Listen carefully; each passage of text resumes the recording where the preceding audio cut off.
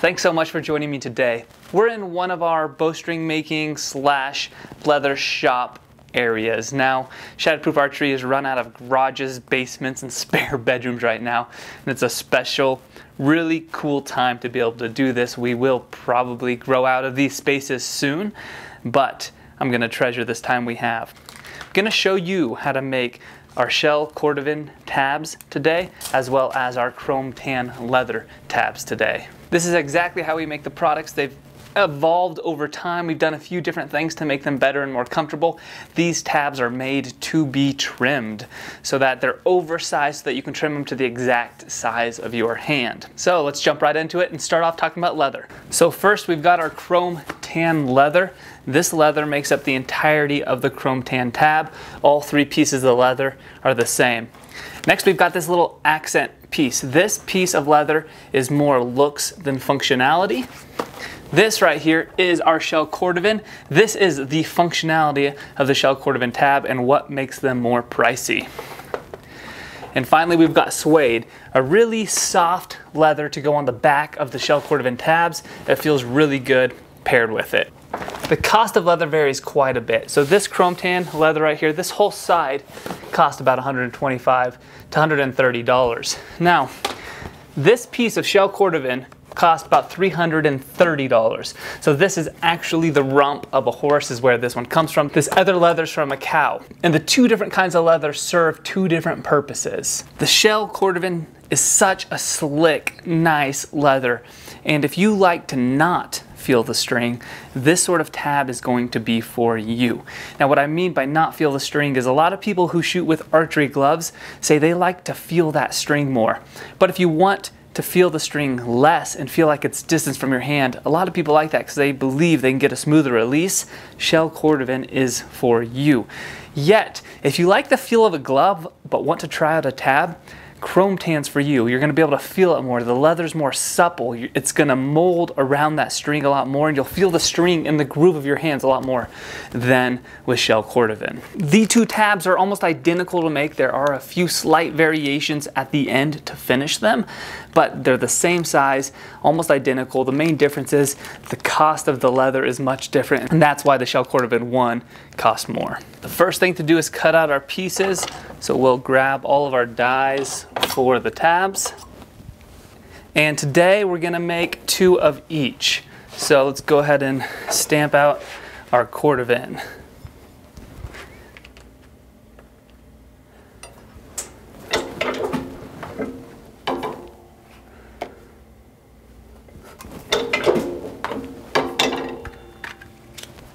Now we'll make uh, two right-handed split finger cordovan tabs. So we'll go ahead and stamp these out as well. That should be good on the cordovan.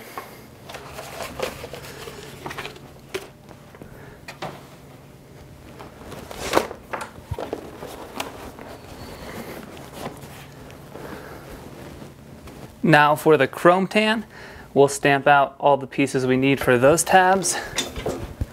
We'll go two split and two right as well. So since it's the same on each one, we'll need four of these to make two tabs.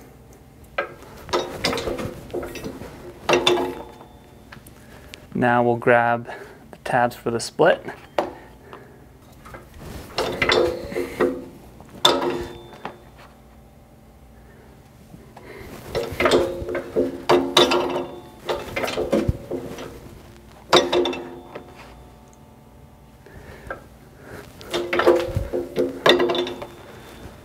Now we just need four of these pieces and we'll have the, the cutouts we need.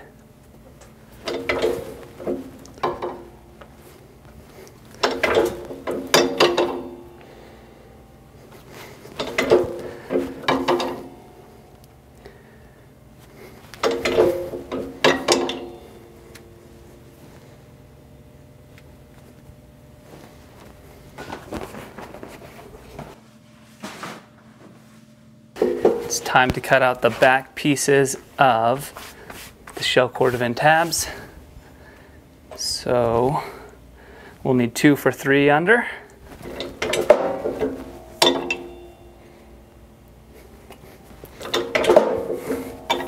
We'll need two for the back of the right-handed splits.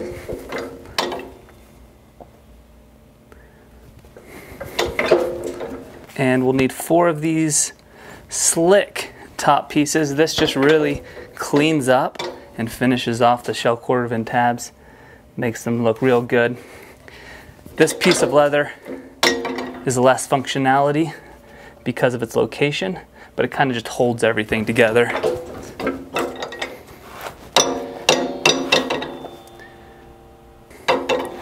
Makes it look real clean once the stitching's in there. The order of operation is really important when trying to produce things in speed. So normally I'll batch 25 of these or 50 of them. But if you get the order of operations wrong, then it's gonna take a lot longer because you're gonna wait for glue to dry or you're gonna wait for stain or edge paint or edge coat to dry. So we're gonna go ahead right now and put on some edge coat just on this one side of the chrome tan tabs. This is just a brown edge coat. It makes it look nice and clean.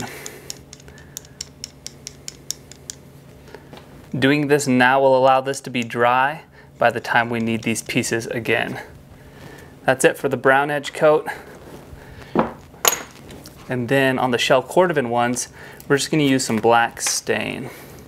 One of the super nice things about leather is it's naturally weather resistant or some would say waterproof. It's really nice to have products out of leather because they just tend to last really well.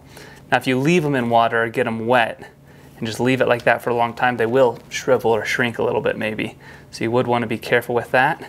But if they get wet and then you wipe it off, you're all good. Okay, let all those dry. As all of these front little pieces dry, we're gonna take the main pieces of the tab and start gluing these together. When using glue, there's a couple purposes for it. One purpose is to actually hold the item together. The second purpose is to hold it together for stitching, but the stitching is going to hold the actual product together. And pretty much every product we make, the stitching is what primarily holds it together. And we just spread a little glue on there. It'll help it a little bit, but really, for how good sewing machines are and the stitchings are, the stitchings what hold it together, except near the edges. The edges of our tabs stay together because we use glue. A lot of other tabs don't use glue. Saves time, saves a step, right? But the edges will start peeling apart. It doesn't look very nice, and then dirt can get in there and it just wears the tab down faster. So I prefer to use glue. Since these are stamped out, it's super nice to not have to trim them. That is, if you take the time to make these edges perfectly line up together.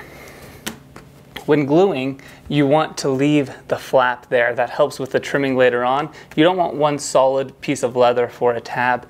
It tends to not be as comfortable when you shoot. So we're using two two to three ounce pieces of leather that are gonna be two flaps and that'll allow you to trim them to your size. Because when you bend the tab over, the back of the tab is shorter than the front. So you'll wanna trim that to true it up and even it, and then trim it to the size of your hand. And that's when you start really shooting well with the tab. It's when it's fit custom to you. Got those done. Moving on to the three under tabs. If you're using contact cement or something like that, you'll want glue to get tacky first, but we're using um, a white glue. It, it's called eco-friendly leather weld. It tends to work really well and it speeds up the process and there is no odor because if I were to use contact cement down here, I would need more ventilation. So right here, we've got a heat press that we're gonna turn on and we're gonna use our templates to stamp in shatterproof into the back of these cordovan tabs. As this gets hot, we need it to get to 250 degrees. Um, we've made a couple changes to the tabs. One of them is we now use an elastic polypropylene bungee shock cord for the finger loop.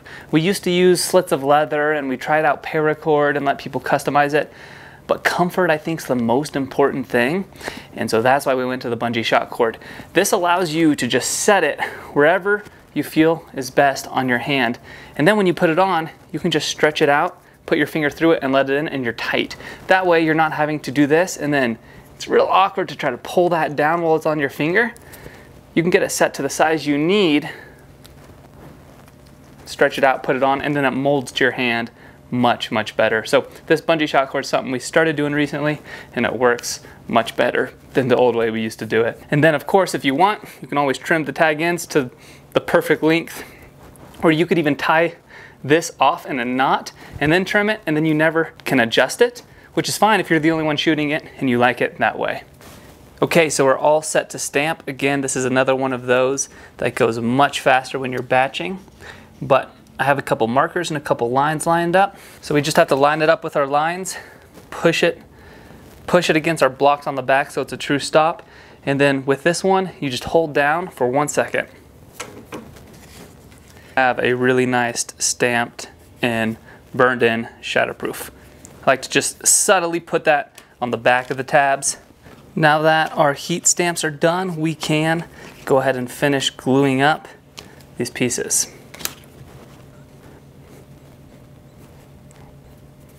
One of the most important things is to make sure these edges are perfectly fitting and true together. It saves a lot of time in the future so that you don't have to spend time trimming off uneven edges.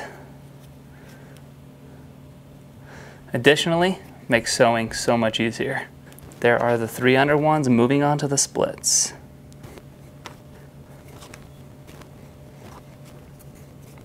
Okay, now at this point, all of our pieces should be dry, which they are. So we can glue all of these on very simply. Now, since our glue is to hold it temporarily so we can sew, there's no need to scratch up the back of this. Um, you could. You could use one of these tools right here and just scratch up the back of it. But from my experience and my testing, it's not necessary on this product and wouldn't hurt it at all. But the main time you want to scratch up the back of it is when you want your glue to hold and you may not be using stitching. But this glue is temporary to hold it in place, kind of like you would use CA glue and woodworking to hold something in place temporarily in order to get the fasteners in.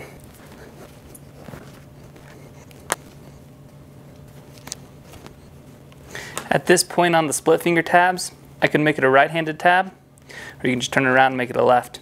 Either way.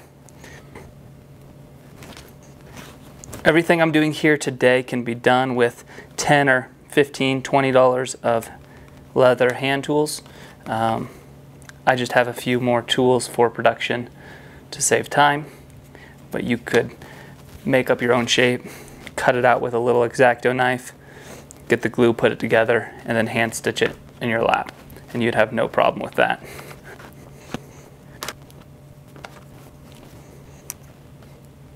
This glue dries in about 15 minutes, so it goes pretty fast, um, and you actually can sew before it is dried.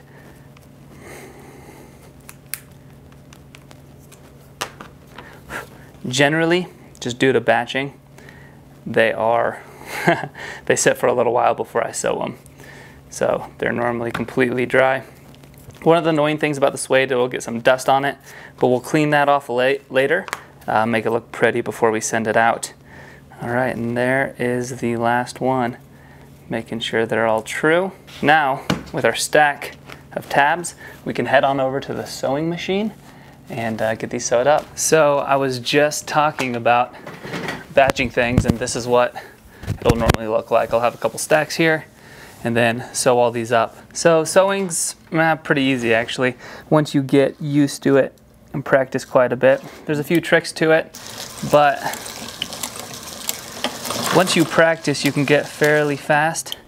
The annoying thing is that if you try to go too fast, you'll ruin a few products, and you never really want to have to trash things, although it does happen.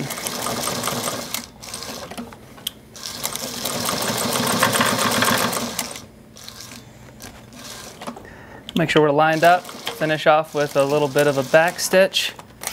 Pull this out and trim the tag ends. And then as always, we'll burn the tag ends. And so there it is. Now you can do this Probably take you five, 10 minutes, saddle stitch it, and uh, it'll look good and you'll be good to go by doing hand stitching.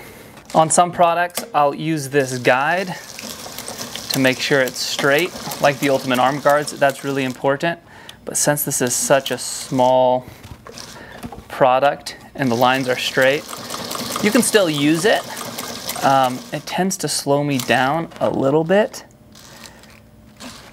And I like to try to go as fast as I can with still making it really good.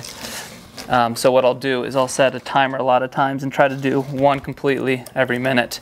Um, but you can lift it up, set it down on top of the leather, and you still get a guide on top, which is super nice on the Ultimate Arm Guards.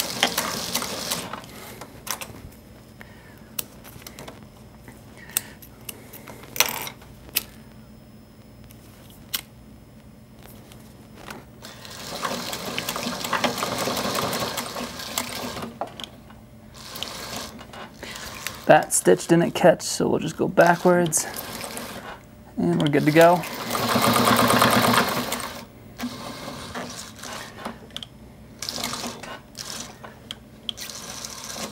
That one didn't catch again. You can hear it click. There we go, we're good there. One more.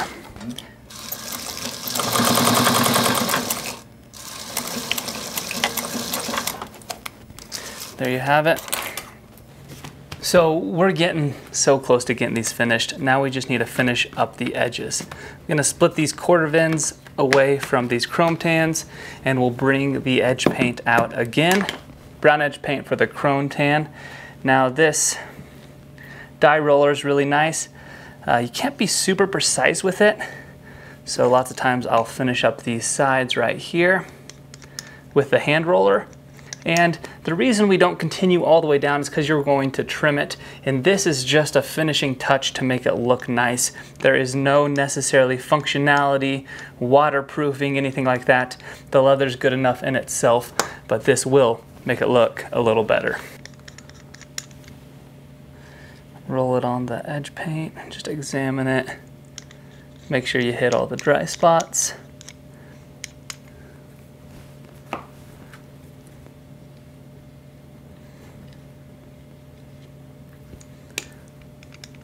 Now this tab right here is not lined up perfectly. We've got a little bit of the edge there that's not lined up. So I will true that up and that's where I was talking about earlier. It's really important to take your time lining it up because it should line up perfectly if you are using cookie cutter dies like I am. But it's user error when it doesn't line up perfectly, which isn't a big deal. Just when you're batching them, it takes an extra second to make sure that they're true when you have to cut them. Spending an extra minute on one of these when you're making a hundred of them definitely cuts into time that could be used better. Okay, so that is it with the edge paint. On these other ones, we're gonna use the dye again, and then we're gonna burnish it with some beeswax in a minute. So this dye really is just to get the shell cordovan darker so that it blends in on the back with the other two black leathers. This is real simple to apply, real fast, and will end up looking really good once it dries. As the edge paint and the dye dries, Let's go ahead and prep the packaging. I'll just, just a little branding here, put some Shatterproof Archery stickers on, and then we'll cut out the polypropylene bungee shock cord next and get our cord locks ready. Okay, those are good to go. Our bungee shock cord, go ahead and pull down. We cut this at six inches. So we'll need seven of them, 6, 12, 18, there's three. 6, 12, 18, there's three more, and then just one more. And I can ravel this back up. Okay, let's check the edges here. We're getting real close. real, real close. Okay.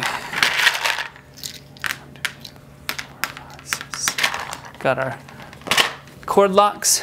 And so now we're good to package it. We'll just need our templates to cut the holes with a scratch awl and a hole punch. So how this templates work is quite simple. Just lay it on top of the tab, cut it out, and now you can see exactly where we need to cut it out. I have the hole marked on the hole punch, so you can just clip right through it. Now, there are some terrible hole punches on the market, but if you can get a good one, it works well.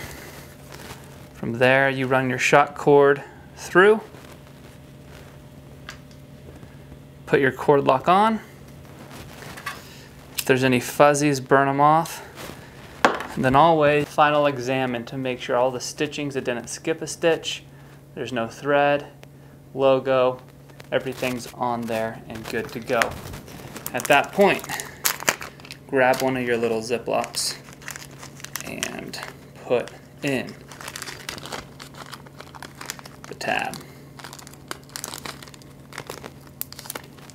Seal it, and that is good to go to a customer. Now, as far as the Cordovan tabs, we've got one more step. This is an electric burnisher. Turn it on, it's just gonna spin real fast. We'll add some beeswax, allow it to heat up, and this is just gonna seal that dye in and make it look real good.